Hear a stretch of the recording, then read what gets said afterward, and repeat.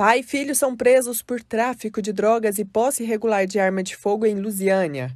A dupla mantinha uma borracharia e o ponto de venda de drogas. Ambos foram presos. Investigações policiais de Genarc lograram efetuar a prisão é, de dois indivíduos, pai e filho, que efetuavam tráfico de drogas é, no bairro da Serrinha, aqui em Lusiânia.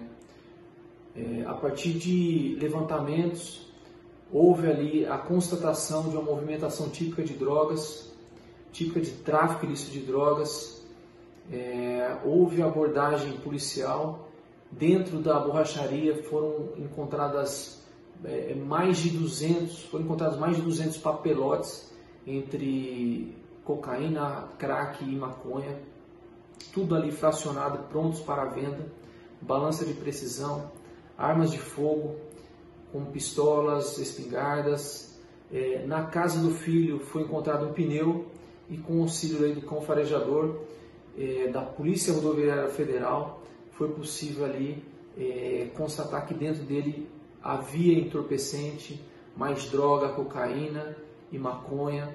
Diante de toda circunstância, foi dada a voz de prisão em flagrante pelo tráfico, associação para o tráfico e por posse irregular de arma de fogo todos conduzidos à delegacia.